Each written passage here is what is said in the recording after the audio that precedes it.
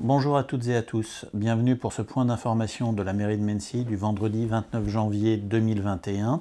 Euh, une semaine qui euh, a été marquée par euh, l'ouverture d'un centre de vaccination supplémentaire en Essonne à Cerny qui vient compléter un maillage du territoire encore faible pour notre territorialité mais qui vient offrir malgré tout une solution supplémentaire.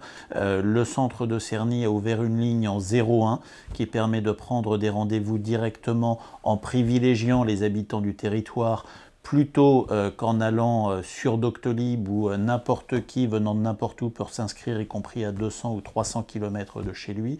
Et donc nous vous invitons à prendre rendez-vous, à essayer d'obtenir des rendez-vous en tout cas, en appelant ce centre sur le 01 qui s'affiche et qui vous est donné. Par ailleurs, le transport à la demande est assuré gratuitement par la communauté de communes pour vous emmener aussi bien au centre de Cerny euh, qu'au centre de vaccination de Corbeil ou d'Evry. Donc vous pouvez être accompagné et si jamais vous aviez la moindre difficulté de transport, bien évidemment les équipes du CCAS sont sur simple appel de votre part à votre disposition pour vous y aider. Malgré cette période particulièrement anxiogène euh, et euh, pénible euh, de la Covid, la vie continue d'avancer et les Mensois continuent, vous continuez à être solidaires. Ça a notamment été le cas avec une mobilisation encore extrêmement forte qui a eu lieu aujourd'hui à l'occasion d'une des journées en faveur du don du sang, comme nous en organisons régulièrement sur la commune. À Mency, on est toujours euh, bien accueillis. La collecte euh, se fait maintenant sur rendez-vous depuis qu'il y a le Covid pour éviter les files d'attente et le respect des mesures sanitaires. Et en général, tous nos rendez-vous, et comme aujourd'hui, tous nos rendez-vous sont pleins. Voilà, donc on, euh, fait toujours le plein de poche de sang quand on vient à Mency, sans problème. Et pourquoi c'est important de donner son sang? Parce que tout le monde peut en avoir besoin n'importe quel jour, tous autant qu'on est. On ne donne pas pour les autres, parce que les autres, c'est nous, c'est tout le monde. On peut avoir un accident le soir, on peut avoir sa femme qui accouche qui fait l'hémorragie, on peut avoir son enfant qui a une leucémie, on peut avoir sa grand-mère qui est malade. C'est pour nous tous le sang. S'adapter à la pandémie, c'est aussi un sujet majeur pour euh, nos associations qui, pour beaucoup d'entre elles, euh, ne peuvent plus avoir d'activité ou doivent vivre au ralenti. La commune continue à les accompagner en maintenant ses efforts en termes de subventions, en essayant euh, d'apporter une logistique, d'apporter une écoute. Et beaucoup d'entre elles font énormément d'efforts pour se réinventer. Et je vous propose tout de suite de découvrir ce que fait par exemple Paradis Riposte. Bonjour à tous, euh, nous voilà dans la, dans la salle d'armes du club d'escrime de Mency, une salle d'armes euh, tristement vide parce que la salle d'armes aujourd'hui est, fermée à cause des restrictions euh, sanitaires. la salle d'armes est, fermée à nos 105, 105, adhérents, des garçons et des filles qui pratiquent l'escrime en loisir et en, compétition de 5 à 80 ans. Donc aujourd'hui, le club d'escrime a, dû s'adapter et a trouvé des solutions alternatives pour euh, bah, compenser justement ces, cours classiques euh, en salle d'armes qui aujourd'hui à date ne peuvent pas se faire.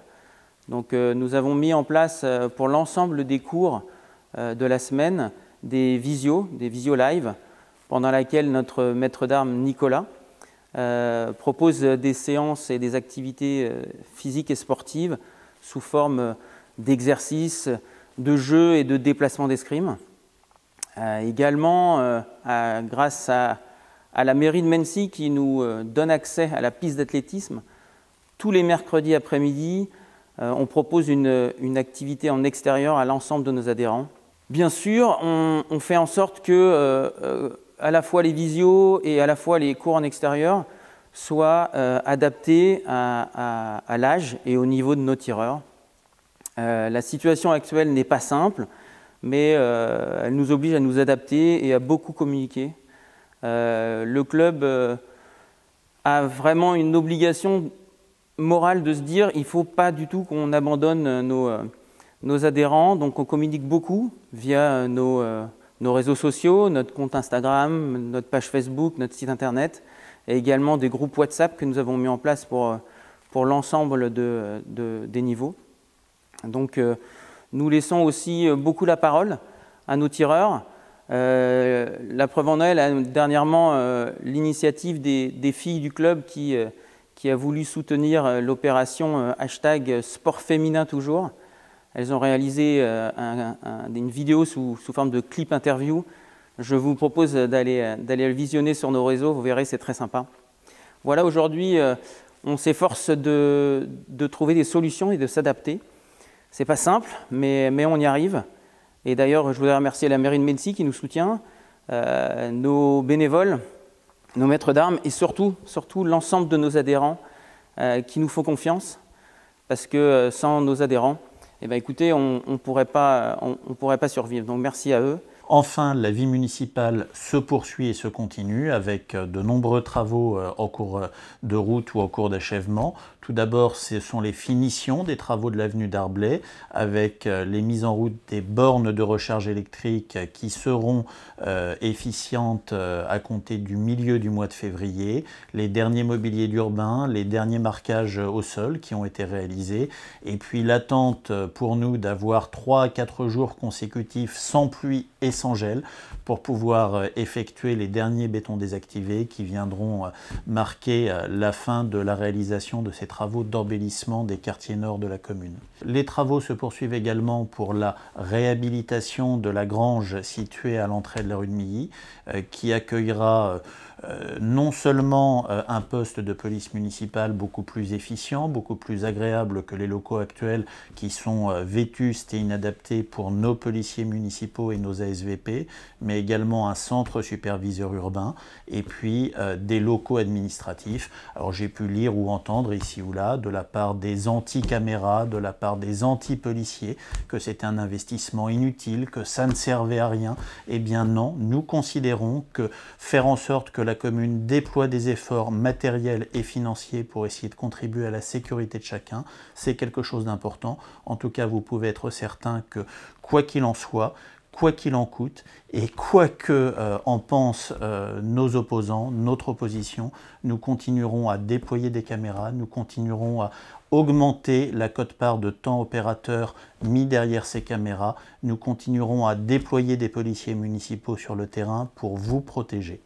Alors, dans la gange, je vais vous présenter ce qu'il va, ce avoir. Donc, ça va être les locaux de la police municipale. Il y aura une salle réunion et on sera aussi avec euh, d'autres services de, la ville qui vont partager ces locaux avec nous.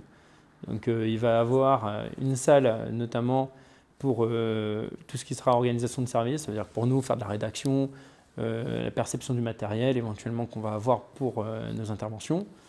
On va avoir euh, une salle notamment pour euh, la remise d'armes de manière qui sera sécurisée. On va avoir une salle CSU euh, qui permettra aux agents qui viendront pour la vidéo, vidéosurveillance de la commune d'avoir tous les moyens adaptés pour pouvoir travailler dans les meilleures conditions.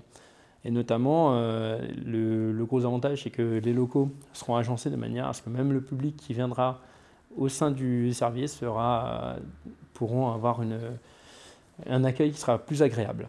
Enfin, au registre des travaux se poursuivent ceux de l'aménagement du corridor écologique qui vient border le chemin rural qui longe la closerie de l'Aqueduc avec la plantation de plus de 150 euh, végétaux, euh, l'aménagement de retenues d'eau euh, pour tenir compte des possibilités, des risques, de la réalité des ruissellements. Nous avions cette semaine une visite sur place en compagnie de l'aménageur Nexity pour inspecter travaux, euh, faire un point d'étape sur ce qui constituera euh, dans quelques années, lorsque cette végétation aura poussé, lorsque ces arbres auront pris, eh bien l'un des plus beaux secteurs euh, de promenade et de randonnée de la commune. Enfin, avant de vous souhaiter à toutes et tous une très belle semaine, je voulais, en mon nom, mais en celui de tous les Mensois, souhaiter un très bel anniversaire à Yvette Andrieux, résidente de Goraz, qui vient de souffler ses 100 bougies Très heureux anniversaire à elle. Très bien, je suis très bien et je suis bien entourée. Euh, j'ai des merveilleuses personnes qui, s'occupent de nous. Hein. Hein, Régine et Najwa. Je lui dois beaucoup, on lui doit beaucoup. Elles sont toujours là quand on a besoin d'elles.